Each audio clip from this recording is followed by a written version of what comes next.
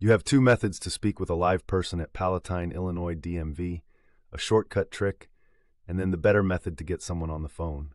So be sure to keep watching for the best method. Dial 101 to skip the menu.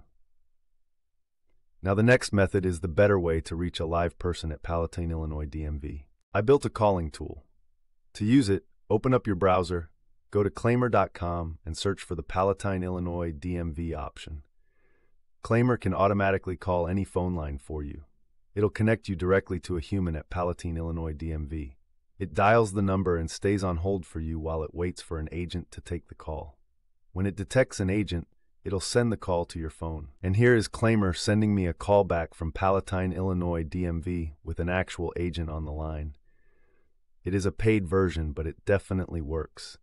You can see a lot of reviews of it with a quick Google search. Let me know in the comments how it worked for you.